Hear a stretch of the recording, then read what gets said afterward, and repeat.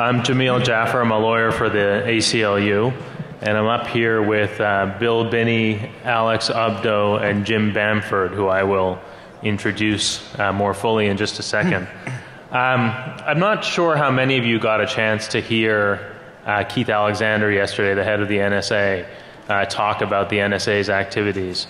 Uh, I wasn't there myself, but I, I have heard that he offered a few reassurances.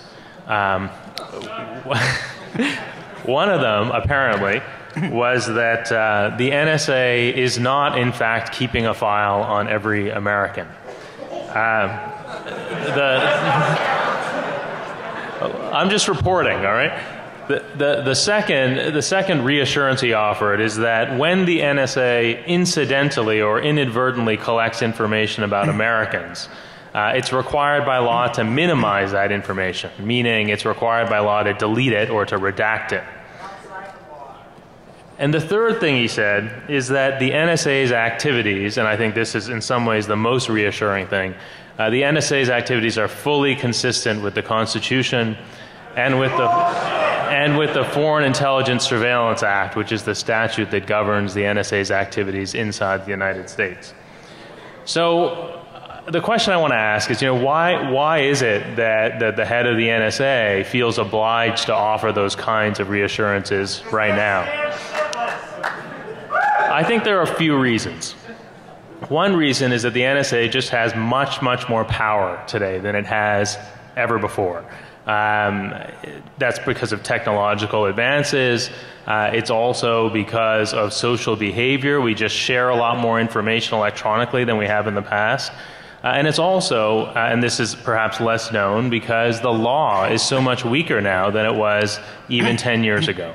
Over the last decade, the, the, the, the laws that govern the NSA's activities have been weakened repeatedly uh, in 2001, in 2005, in 2008.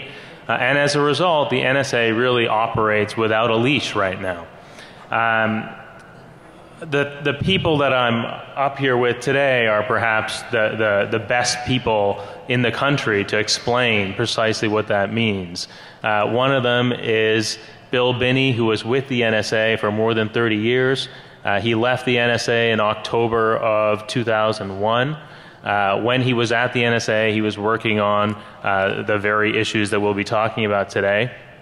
Uh, Alex Abdo, next to him, uh, is a colleague of mine at the ACLU. He's a staff attorney. He works on surveillance issues, especially in the national security context, uh, including a case that's before the Supreme Court right now uh, involving a challenge to the Foreign Intelligence Surveillance Act.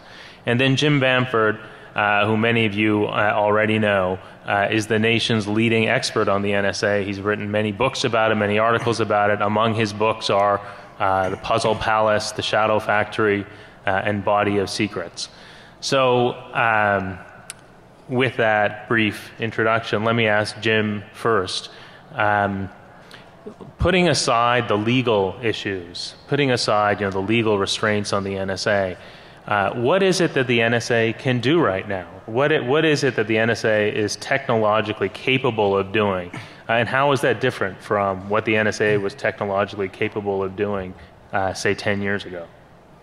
Well, first, I just want to say I'm really happy to be oh, be here, and uh, I was here 10 years ago, and it's really grown. Uh, DEF CON's really grown since then, so I'm really happy to see that. Uh, the other thing is, uh, General Alexander uh, asked me to fill in a few blanks that he left when he was speaking here, and I said I'd be very happy to do that since I've been talking about NSA since he was a private, I think. Um, and don't be fooled by that black t shirt he was wearing. Uh, underneath it is a giant parabolic microphone. so, um, what can NSA do today that it couldn't do 10 years ago? Well, first of all, pre 9 11, NSA was following the law to a large degree. Uh, basically, since the Foreign Intelligence Surveillance Act was passed back uh, around 1978. Uh, but that all changed after 9 11, and that's when uh, George Bush decided to do the warrantless eavesdropping. So since then, NSA has had an enormous building boom like nothing in its history. billions and billions of dollars of uh, new buildings, new infrastructure, new listening posts, uh, build a new listening post, uh, in, uh, or some of these are, are reconstruction of existing uh, listing posts, but a giant listing post, actually largest in the world, in, uh, in Atlanta, outside of Augusta, Georgia. Um, it'll have 4,000 positions, 4,000 eavesdropping positions and another one in Texas, and then there's a downlink in, uh, in Colorado for NSA's uh, satellite information, and then another one in, in, um, in Hawaii. But the, uh, the high point of NSA's building boom is a building I just wrote about in the uh, April issue of Wired Magazine. It was a cover story in Wired Magazine on NSA's uh, enormous data center in, uh, in Utah, Bluffdale, Utah. Uh, ironically, the only other thing in Bluffdale, Utah is the uh, second largest polygamy uh, sect in, in, the United States. So you got both groups there listening for messages from the heavens. Uh, so it'd be interesting to watch these two groups uh, socialize together. Um, but uh, NSA is building this huge data center now in Utah that'll be a million square feet um, and cost $2 billion so they can store, it'll be the central place for storage for virtually all the information that they uh, collect. It's basically going to be their, their cloud so that all the listing posts, all the analytical positions, the headquarters and so forth will be able to go in and come out, take stuff in, post stuff out, analyze it from their uh, distant locations. And the other thing is this huge um, um, supercomputer center they're building down in um, Utah, I mean, uh, down in Tennessee, Oak Ridge, Tennessee, the place, uh, Secret City, where they uh, worked on the atomic bomb in, in, uh, in, World War II, and now they're working on a, basically the computer equivalent of the atomic bomb. Uh, a computer that is into the petaflops in terms of speed now. And uh, they're building another building down there now that will be able to get into the exaflops, which uh, I've got a statistic here I'll read later on how fast that really is, but it's very fast. And then maybe on to yottaflops or whatever. Um, so that's pretty much where NSA is right now. It's this enormous building boom. They've got enormous storage capacity for all the new communications they're going to be intercepting, and and a new uh, supercomputer center for attacking uh, encryption, uh, maybe even uh, um, uh, public key encryption or other kinds of encryption, although it's hard to say exactly what they're going to be using that uh, center down in Tennessee for right now. So, so, Bill, how do you reconcile? Is there some way to reconcile General Alexander's statement that the NSA isn't keeping track of every American with the existence of a facility like the one in Utah? Uh, well, first of all, I'd like to say, first of all, that uh, his statement about not keeping track of every American is absolutely true. He missed a few. Not many, but he missed a few. Okay? But, but that's the kind of word game they play. I've been in that business for a long time, so I knew their word game. So, but uh, no, there's absolutely no excuse for him, him even implying that he's not collecting all this data. I mean, it's not just for processing after linear recursives or things like that. It's, uh, it's actually storing information that's, that they're collecting, which is emails, FTPs, those kinds of things, Twitter things, and all kinds of data about everybody.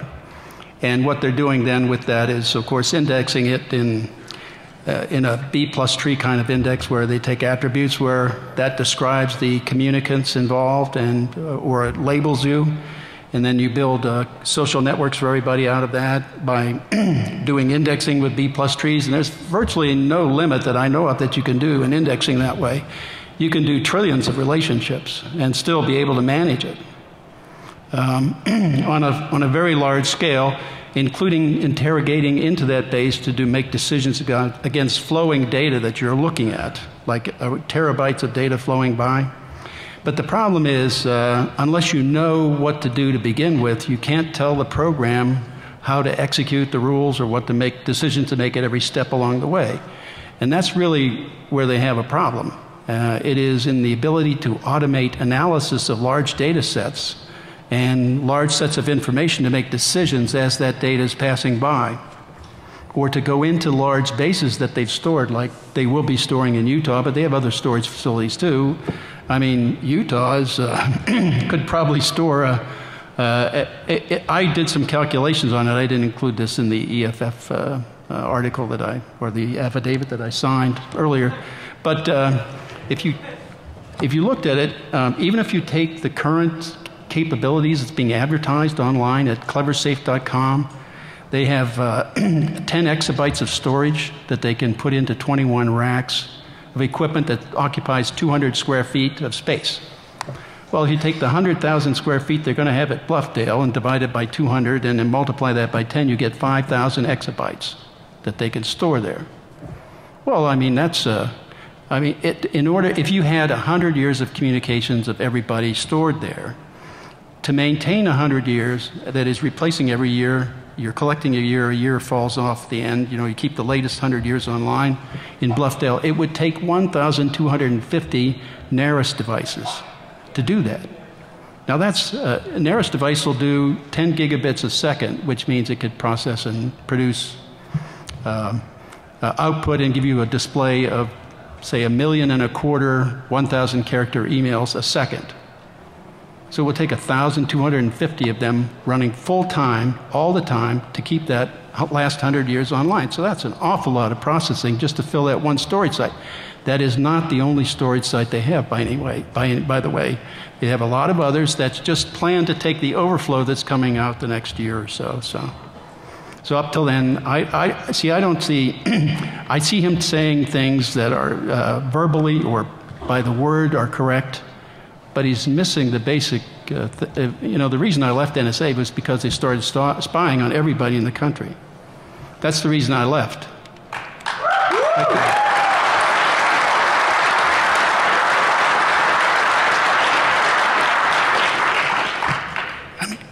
NSA's charter, and it was a legitimate one, was to do foreign intelligence, and I was with that all the way, and I did the best I could in that job. Unfortunately, they took those programs that I built and turned them on you, and I'm, I'm sorry for that. I didn't intend that, but they did that. So, Al- so Alex, is this. Um, is this a problem with the law? Is the problem that the law is not sufficiently restrictive, or is the problem that the NSA is violating the law?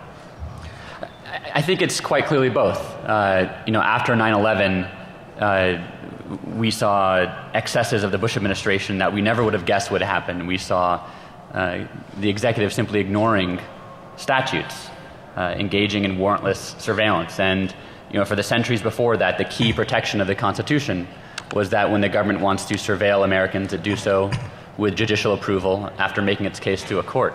Uh, and that was abandoned by the Bush administration um, but, but that was just you know, one instance of extreme violation of the law, but then Congress essentially codified that in two, 2008 when it authorized the government to engage in domestic uh, dragnet surveillance of Americans' international communications. And so what we have now is an institutionalization uh, of the lawbreaking that occurred after 9 11, with the result being that the, the key legal protection that has protected us since uh, the enactment of the Bill of Rights is no longer in place with respect to our communication. So we, we can't be sure, um, you know, that, that the law is protecting us. We can be quite sure, actually, that it's not protecting us.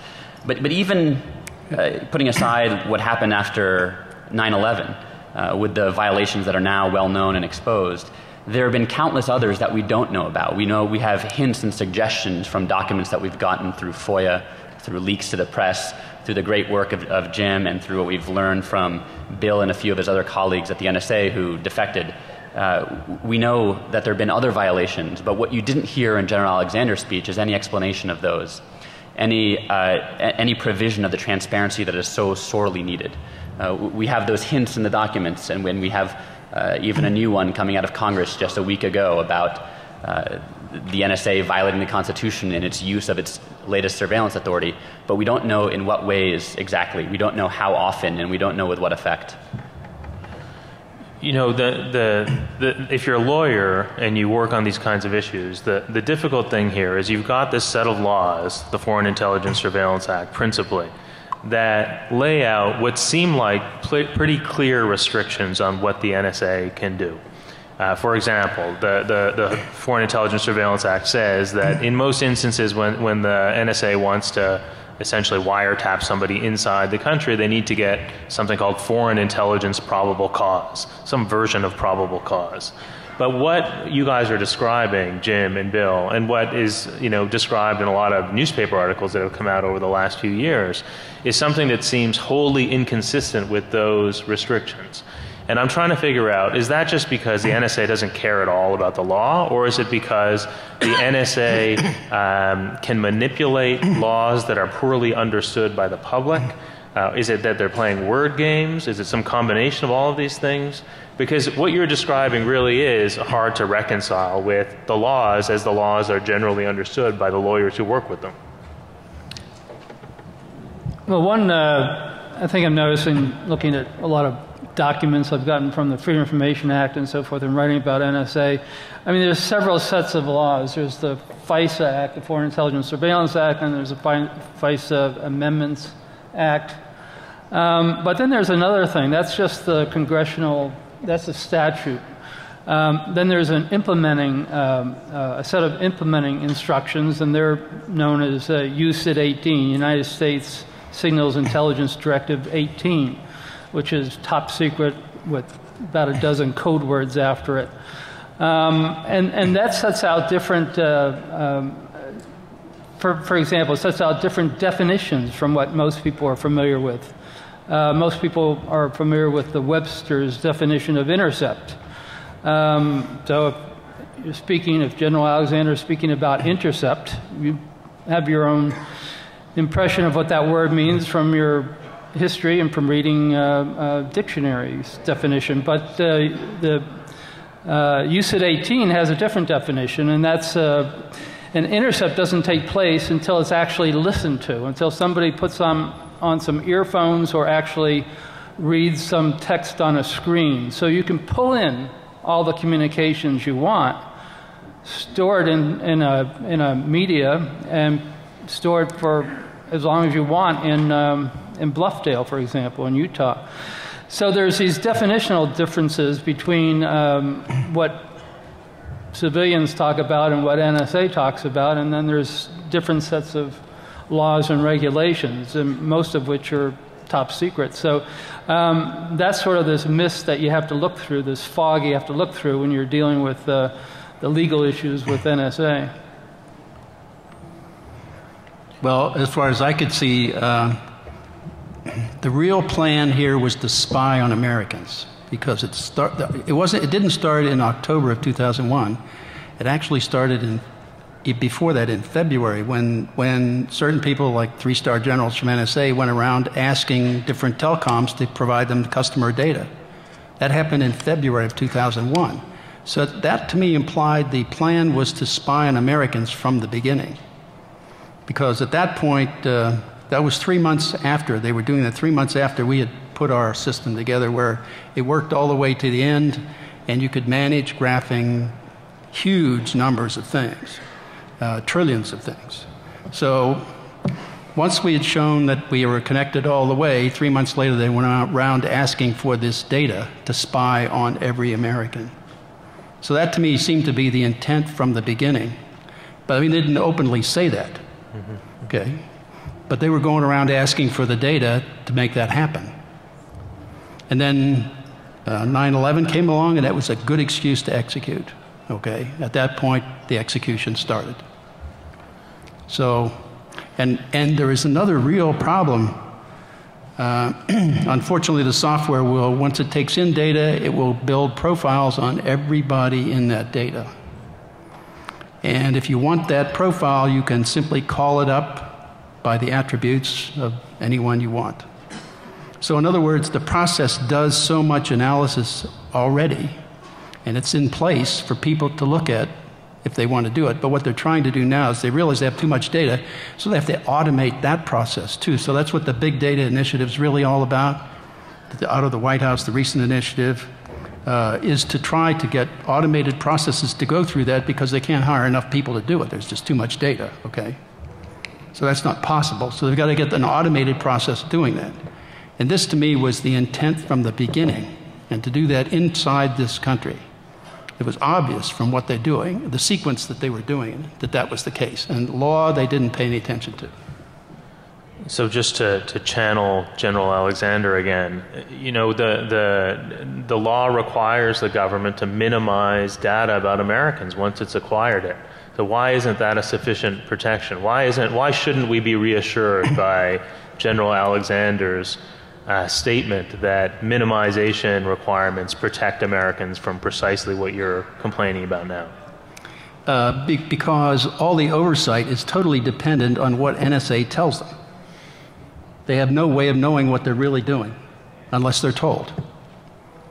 So, plus, I would add a simple little point.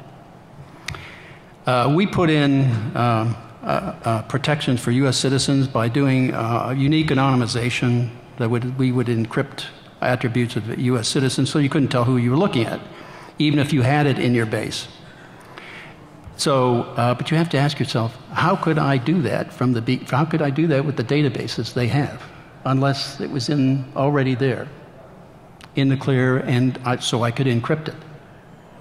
Alex, I know that that you know one of the complaints you have sometimes made about um, the existing FISA is the weakness of the minimization requirement. Yes.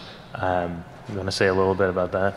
Sure. You know, the legal problem with the minimization requirement is just that it, it has a gaping hole which swallows the rule, which is that uh, if the information is essentially what the NSA wants anyway, if it pertains to foreign intelligence, which is defined extremely broadly, then the NSA doesn't have to get rid of that information. They can continue to keep it in their database. But we've, we've learned something else actually quite interesting in the past few weeks from a few senators who've been very vocal in their uh, objections to reauthorizing the latest surveillance statute at the end of the year which is that even uh, uh, supposing they have information in their, in their database that they're not supposed to or not supposed to target from the outset, um, they can then keep it in their database and target after the fact by going back and conducting data mining searches afterward, in other words, to get the information that they couldn't target from the outset. And it sounds like a minor loophole, uh, but it's one that a few senators think is the key to the entire program that the NSA isn't concerned so much with using its authorities to target foreigners, but that they're using it as an excuse to accumulate masses of information that they can then later search uh, under the legal theory that uh, Jim laid out that uh, the search doesn't happen until uh, they run the query later on. It, it's not the, the acquisition isn't the search, uh, the querying later on is the search. Uh, so, and, and of course, what's troubling about all this, aside from what's obvious, is that the secrecy that pervades the program makes it impossible to know whether any of these speculations are uh, true. We obviously have the experience uh, of Bill and Jim to flesh out these theories, uh, but so little is really known about how the NSA actually interprets its statute, how it interprets its authority, and, uh, and how it's using those authorities.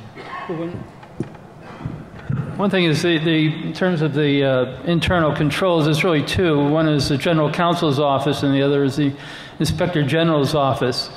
And just to give you an example of how effective those organizations are, uh, during the period of the warrantless eavesdropping, during the uh, during the the Bush uh, period, um, when it was decided that we were going to go into warrantless eavesdropping when uh, it was decided by the administration that the NSA was going to do warrantless eavesdropping.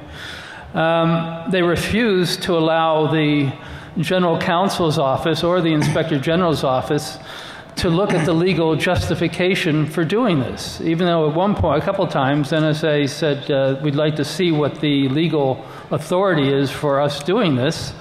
Um, the uh, Bush Justice Department said you're not cleared to know the reasons that uh, you have to do this. And uh, uh, General Hayden at the time just saluted smartly and turned on the bugs. So, uh, um, you know, you have to really wonder what the usefulnesses of uh, some of these internal organizations are. If somebody from the higher up in the administration could just say, it's not your, none of your business and you're not cleared to know.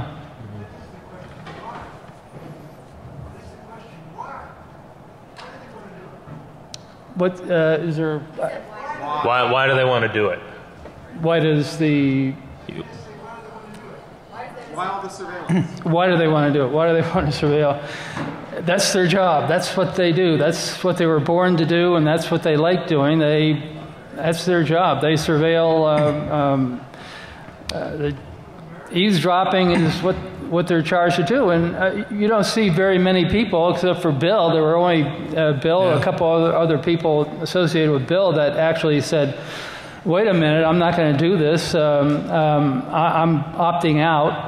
You know, it's time for me to uh, look at the agency from the outside in. Um, so basically, uh, wh- whatever people at NSA are told to do, they do. Um, so you have that period during the warrantless eavesdropping where uh, uh, now not everybody at NSA knew that they were involved in warrantless eavesdropping. I should make that clear. That was a very compartmented program. Uh, but after it was revealed, there were very few people that objected and left the agency. So NSA's job is eavesdropping. Their original charter is eavesdropping on, on foreign countries and uh, you know foreign people in foreign countries, which there is no legal problem with because uh, they don't have any constitutional protections. Um, the problem is uh, when NSA is told to uh, eavesdrop domestically, and this wasn't the first time. Nixon, uh, during his time, uh, told NSA to start eavesdropping domestically, and it did it for about a week. And NSA was very happy. They were overjoyed that they were be, being given that opportunity to eavesdrop domestically um, on anti war protesters. And it, it, only stopped because this big civil, civil uh, libertarian named J. Edgar Hoover came in and said, uh, uh, I'm going to blow the whistle if NSA keeps doing this. he told that to Nixon, uh, primarily because uh, he saw NSA as stepping on FBI's uh, turf. Yep. And so a week later, uh, Nixon canceled the program. But um, there's a willingness at NSA. There was a willingness then. There was a willingness during the Bush administration to salute smartly and say, uh, you know, turn on the microphones uh, when uh, they're ordered to do that by senior officials in the uh, administration. You know, I just want to say something about the distinction between targeting people inside the United States and, and targeting people outside, because, you know, it's true that there is this sort of, you know, obvious distinction between those two categories of surveillance. But one of the things that's going on now is that the NSA is uh, it's engaged in dragnet surveillance of people outside the country. And they say that they can do this because those people outside the country don't have constitutional rights to assert. The problem is, from a constitutional perspective, the problem is that when they are surveilling those people outside the country, often those people outside the country are communicating with people inside the country. And so the NSA is sweeping up these huge volumes of communications between Americans inside the United States and non Americans outside the United States. And those huge volumes of communications are going into these databases, including these, these Utah databases. And the, the problem that Alex was alluding to, that Senator Wyden has been harping on for the last few weeks, uh, is that once all the information has been collected on the theory that it was collected in the course of surveillance of people abroad who don't have constitutional rights, all of that information sits in a database here and then can be searched even if the NSA is concerned not about some foreigner living abroad, but about some American living here. Um, and from, you know, you, there are lots of reasons to be worried about NSA surveillance, even of non Americans living abroad. But you know, even if your only concern is about NSA surveillance of Americans inside the United States, this is, as Alex says, you know, a, a really huge loophole uh, in the in the legal protections. One other point also is that the um, when you're thinking of targeting overseas and not targeting U.S. citizens, it sounds fairly innocent. But uh, one thing you can target, for example, would be the overseas uh, data or, or, call centers. Uh, you know, all these uh, call centers they have in India and Philippines and different places now. All these uh, companies from eight, uh, uh AT&T to um, uh, American Express, uh, Bank of America, all these companies are outsourcing their um, their when people call up and want to know what their balance is in their in their banking account, for example, it might be answered by a calling center in India. Well, you can target the calling center in India because it's a it's a center outside the United States. It's uh, foreigners that run it outside the United States, and you're not specifically targeting any American within that call center. But everything going in, if I call up and say, "What's the balance of my banking account?" or uh, a question about uh, some finan- financing uh, that I'm doing. Uh, that's picked up um, and would also go to Bluffdale because it's not being specifically targeted against me, but it's being targeted against an overseas call center. So that's sort of a, a loophole. So I, I want to ask the, the question that, that we started to talk about a minute ago, uh, but ask it more directly. So why, why aren't more, you know, if this kind of thing is going on at the NSA, why aren't more people speaking out about it?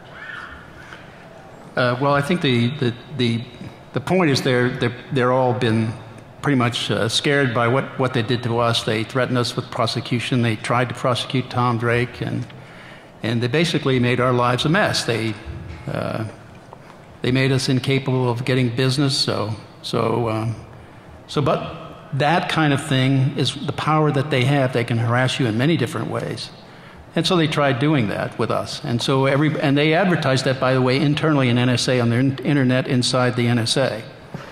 It was, they put our 60 minutes take on, on, their, on their video internally, they, and they made it clear what they were doing to us internally.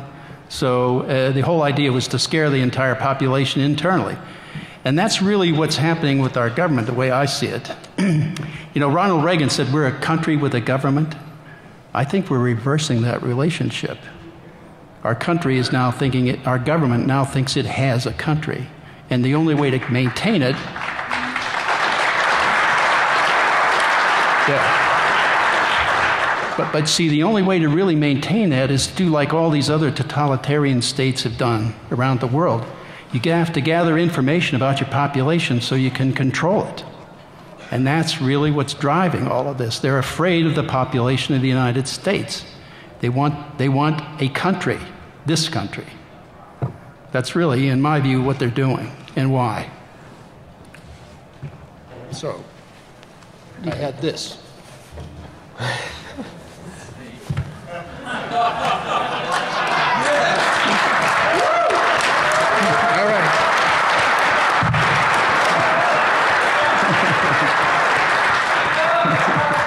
All right. I want, I want to save a little time for questions, but I have uh, at least one more question. This one for you, Alex. Um, I mentioned at the beginning that there's a case before the Supreme Court uh, this fall. What's at stake in that in that case? So this is our the ACLU's lawsuit on behalf of a number of, of uh, uh, human rights groups, journalists, activists, challenging the latest surveillance statute, the, the statute in 2008 that really shifted the paradigm from individualized surveillance to dragnet surveillance. And unfortunately, for the past four years, we haven't been uh, litigating in court about whether the law is constitutional or not. We've been litigating about whether our plaintiffs have standing to challenge the law, whether they uh, can file the lawsuit to begin with. And what's discouraging about uh, the suit is that the government's argument all along has been our plaintiffs can't sue because they can't prove that they were surveilled. But of course, we, the NSA, would never disclose whether anyone in, in particular is surveilled. And the consequences of that argument should be obvious. They're that uh, no one can challenge the law. So even if you're not concerned about the extent of the NSA's authorities, you should, I, I, think, perhaps be concerned that not even the government wants there to be constitutional review of these laws. They don't want anyone in court discussing them, let alone uh, in public or in Congress. They don't want courts reviewing these laws to establish meaningful limits if there are limits to establish, or even to say uh, if the government is correct and the laws are constitutional which they're not. Uh, so that's what's at stake in, in, in, this lawsuit is whether this statute can be challenged, but it's not just this statute. There are numerous surveillance authorities that not only the NSA has, but other agencies use on a daily basis uh, to intercept our communications or to gather intelligence. Uh, and if this suit uh, is turned away by the Supreme Court, then I, I worry that there will be little opportunity to uh, flesh out the constitutionality or the limits of the law in this area. And without those limits, we know what happens. Uh, and if not for you know, a few uh, in, intrepid whistleblowers, we wouldn't know about what happened after 9 11. That wasn't the success of the rule of law in this country. That wasn't the result of a lawsuit that brought that about. Uh, that, was, that was luck. And we, we can't rely on that forever. Uh, we're a system of checks and balances for a reason, but, but those checks and balances are not working in this area. Go ahead. Uh, just one point also, I was uh, actually uh, one of the plaintiffs, along with Christopher Hitchens and a few other people, of the original suit brought by uh, ACLU, and um, we were uh, among the uh, uh, people that was identified as uh, not being able to show that we have standing. We weren't able to show that we were physically eavesdropped on because NSA doesn't tell you who it eavesdrops on. So they threw our case out, and that's what this case is uh, going forward with now, which I'm very happy about. The, the problem with the case, however, is that uh, even if the case is successful in the Supreme Court, the government has this, this uh, ultimate way to turn the switch and, and end the case. It's called the State Secrets Act, which is used a number of times against cases where it, it looks like it's either going to lose or it may um, um, end up exposing government secrets. Uh, and that's one of the problems you have here is that even if um, the courts accept the argument and find in favor of the ACLU, the, uh, the problem is that at one point, at some point, the, uh, the government may flip the switch, turn the off switch uh, off, and um, use, the, use its ultimate weapon, which is the State Secrets uh, uh, Act. Yeah, this is this is maybe worth worth underscoring. The the the secrecy surrounding all of this surveillance obviously prevents us from knowing the full extent to which the government is spying on Americans. Uh, you know, we don't know in what instances and what context they are uh, getting location information, for example. We don't know in what context specifically um, they are getting content information from emails, and we don't know uh, in what context they get purely domestic telephone calls. Um, so all of this is shrouded in, in, in, secrecy. But, but perhaps even more troubling than that is that the secrecy insulates all of these surveillance powers from judicial oversight. So you've got all of these statutes that, that look like uh, laws in the sense that they are enacted by Congress and nominally subject to constitutional limits. But it's literally, or has been literally, impossible to enforce those constitutional limits uh, because the government has all of these procedural objections that have, in many cases, been successful. One of them is standing, the one that Alex was talking about, and another is state secrets, the one that Jim was talking about. Um, so if you by have, the way, the, it, I mentioned State Secrets Act. That was a mistake. It's not. It's not an act. It's called the State Secrets Privilege because there's never been anything enacted allowing them to do it. They just do it and get away with it. So they don't have any basis in law for that for that privilege. If you have questions, just come up to the mic up here. Uh, yeah, it's uh, Kim Zetter with Wired. I have a question about uh, Alexander's statement yesterday. I wonder if you can clarify. He said that uh, let's see.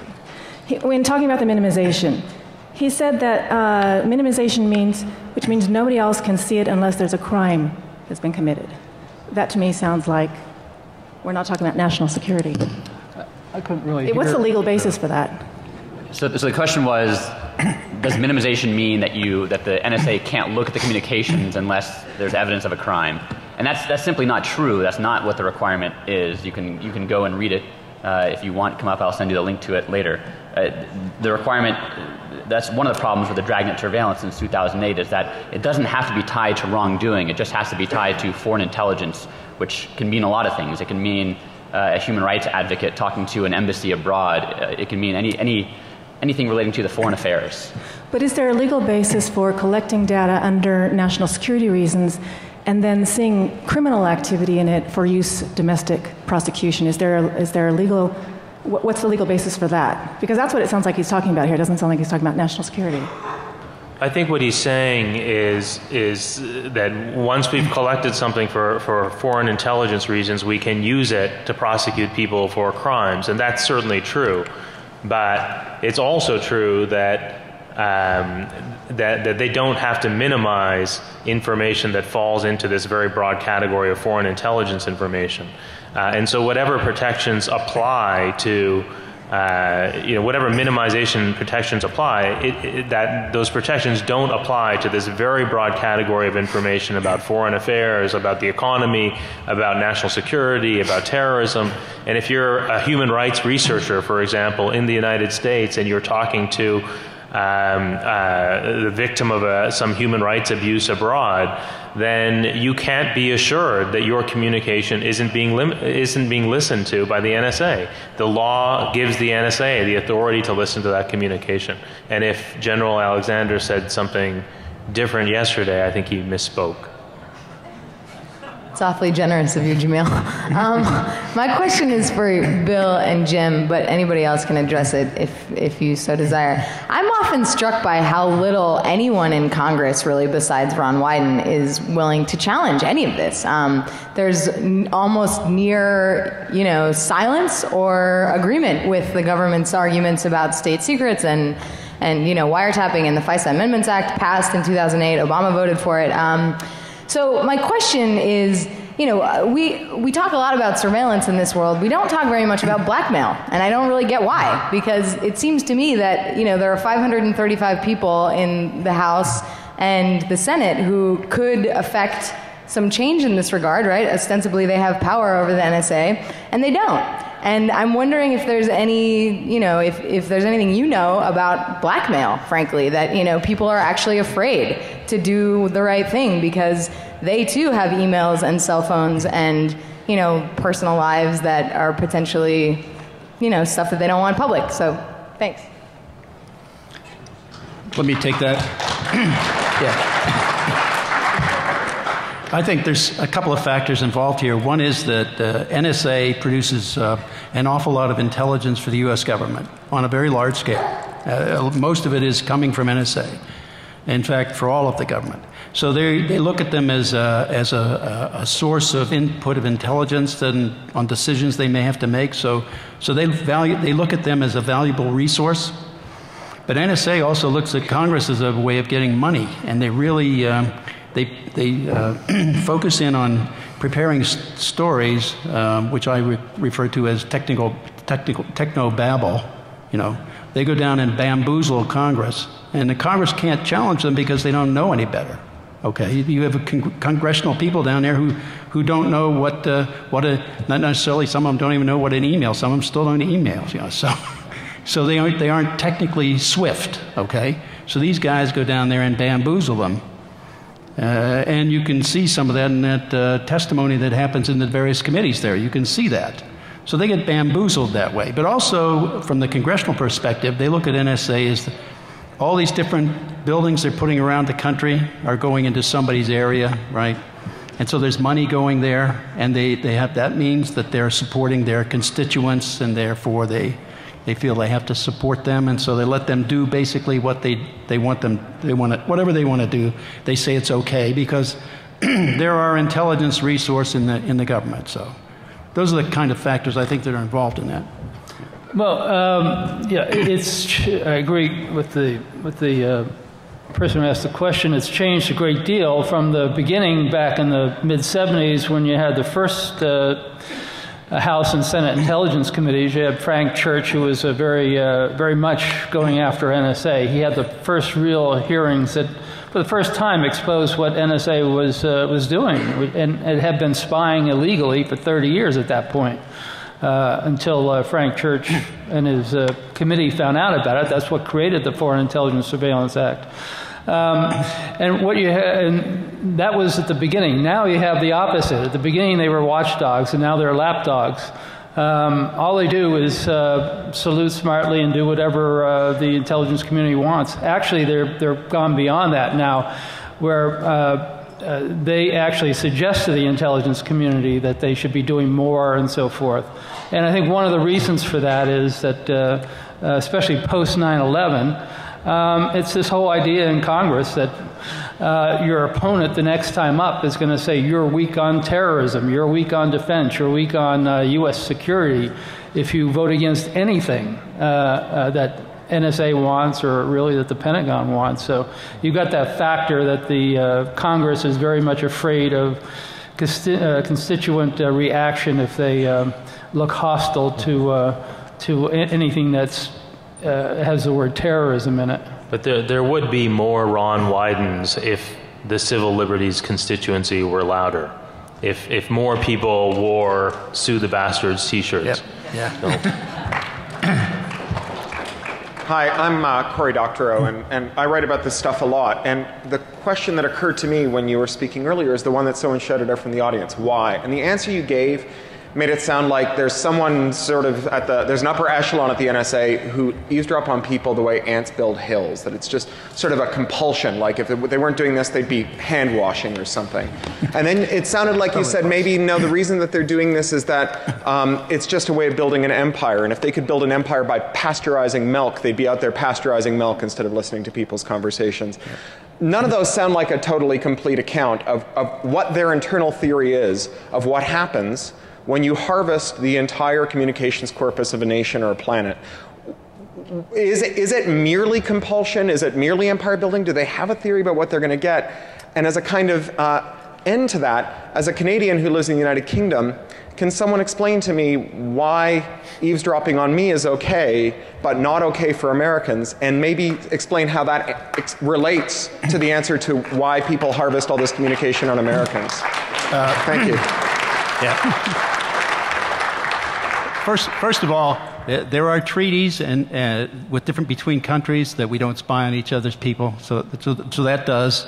Those do exist. So um, uh, I, I, know it's hard to believe, but right now I don't think any any of that really applies. They just they're taking in everything without minimization. They don't minimize anything, as far as I know. Everything's being taken in, and part of it's a fear. I think that they're afraid of not having the data, so they couldn't figure out something out. Or if they pull all the data in, eventually they'll figure something out and be able to go back and and and resolve the issues in the you know in retrospect. Uh, so I think there's several drivers there. I don't but my real, my real point is this is much larger. It has to do with a government that's virtually in, implanted in Washington. People don't get, I mean, this is why I'm for term limits, right? These people don't, don't rotate, so they stick down there and they think they know better, okay? And so now we, that's why I said we, I think we have a government that thinks it has a country. But it, it seems conceivable to me um, that, that, you know, with the right analytical tools, it's it's true that if you collect more information, you're more likely to find something. But it's you know it's true in the same way that it's true that if you searched everybody's home inside the United States, you're like you know you would find more than you do right now.